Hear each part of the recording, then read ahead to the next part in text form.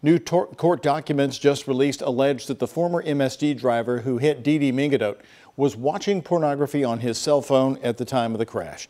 Roger Burdette crashed into Mengedoht's police cruiser. She was conducting a traffic stop on I-64 under the Belvedere on Christmas Eve of 2018. Burdette failed a sobriety test and admitted to taking different prescription drugs, but court documents show he did not have a doctor's prescription. Burdette is charged with wanton murder, wanton endangerment, driving under the influence, and failure to give the right of way to a stopped emergency vehicle.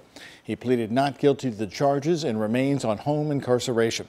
His jury trial is scheduled to begin in July. Now, the Fraternal Order of Police in Louisville released a statement today on these new developments saying, quote, the River City FOP has always maintained our belief that Mr. Burdette is criminally responsible for the tragic collision that killed Detective Mengedoht.